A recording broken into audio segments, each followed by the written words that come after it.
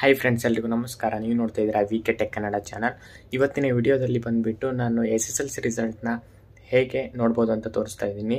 ನೋಡಿ, ನನ್ನ S S L C result ನಾನು ನನ್ನ ಡಿಸ್ಕ್ರಿಪ್ಷನಲ್ಲಿ ಲಿಂಕ್ ಹಾಕಿದ್ದೀನಿ. ಅದ್ರ ಮೇಲೆ ಕ್ಲಿಕ್ ಮಾಡಿಬಿಟ್ಟು ನೋಡಿ, ಅದ್ರ ಮೇಲೆ ಕ್ಲಿಕ್ ಮಾಡಿದರೆ ಸಾಕು. ಅದು ವೆಬ್ಸೈಟ್ಗೆ ಕರ್ಕೊಂಡು ಹೋಗ್ಬಿಟ್ಟು ನಿಮ್ಮ ರಿಜಿಸ್ಟರ್ ನಂಬರ್ ಕೇಳುತ್ತೆ. ಅಲ್ಲಿ ನಿಮ್ಮ ರಿಜಿಸ್ಟರ್ ನಂಬರ್ ಹಾಕಿದರೆ ಸಾಕು.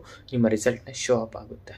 ಸೊ ಇಷ್ಟೇ ಫ್ರೆಂಡ್ಸ್ ಡಿಸ್ಕ್ರಿಪ್ಷನಲ್ಲಿ ಹೋಗಿ ಲಿಂಕ್ ನಮ್ಮ ಲಿಂಕ್ ಮೇಲೆ ಕ್ಲಿಕ್ ಮಾಡಿ ನೋಡಿ, ನಿಮ್ಮ ನಿಮ್ಮ ರಿಸಲ್ಟ್ನ ಶೋ ಆಗುತ್ತೆ.